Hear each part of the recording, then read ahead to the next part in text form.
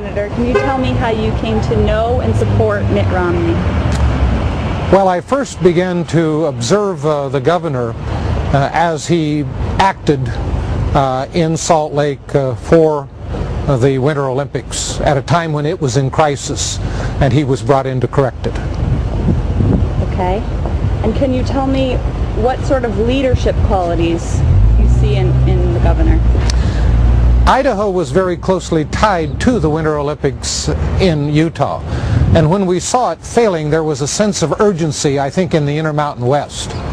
Within a very short time after Romney took control of the Olympics, we not only saw a sense of calm and organization take place, but a whole new image emerge. And through his leadership, he brought it to a level of probably one of the most successful Winter Olympics ever.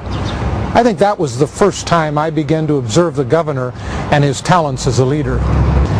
Well, knowing Governor Mitt Romney uh, is knowing somebody who first and foremost has very strong family values.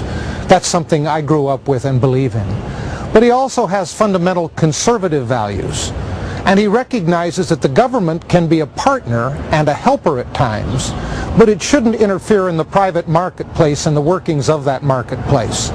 And I think he's demonstrated that under very difficult odds at times, but has shown great leadership in doing it.